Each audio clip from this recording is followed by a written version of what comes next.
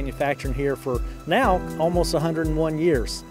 You know, we, we really are at our core a manufacturing company.